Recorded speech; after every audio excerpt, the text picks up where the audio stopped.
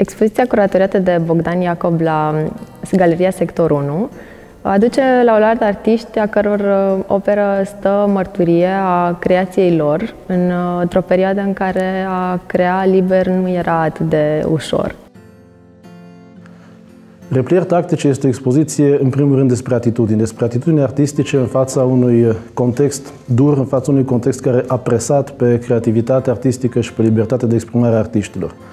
Vorbim despre Europa de Est ca maestru, dar despre Europa de Est care este aceea totalitară a decadelor comuniste, în primul rând a anilor cuprinși între 1970 și 1990, cărora le aparțin majoritatea lucrării din expoziție. Sunt lucrări de artiști români, 8 la număr, care fiecare dintre ei și-a găsit un mod de a se retrage subtil din fața unei realități presante pentru a reveni în ea cu artă.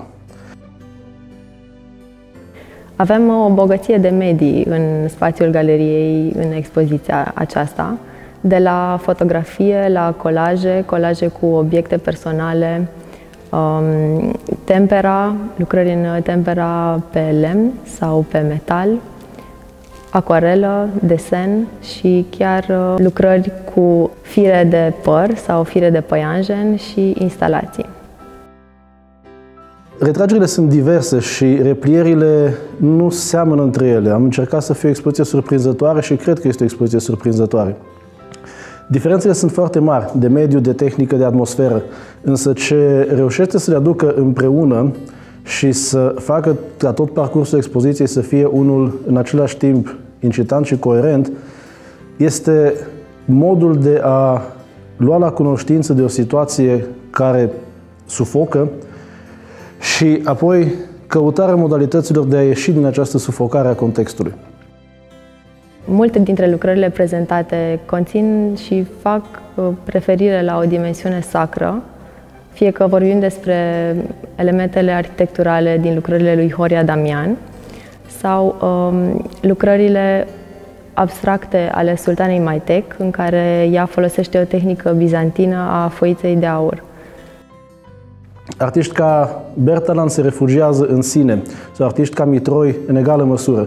Dar ceea ce scot din acel sine, care ajunge să fie complex și de multe ori um, aproape histrionic, sunt lucruri diferite. Artiști ca uh, Alexandru Antic se revoltă într-un mod aproape explicit, dar niciodată dus până la capăt, rămânând într-o zonă din afara pericolului politic propriu-zis și cantonându-se într-un registru antropologic.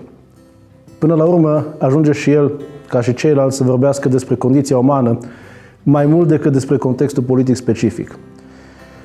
Alți artiști preferă să se retragă și să se replieze în estetic, cum ar fi uh, cazul sultanei Maite, cu o repliere poate aproape inconștientă. Alții, în fine, se retrag în teorie din care reconstruiesc cu eleganță o artă vizuală care este foarte coerentă până la punctul de a fi o rețetă, dar niciodată ajungând acolo.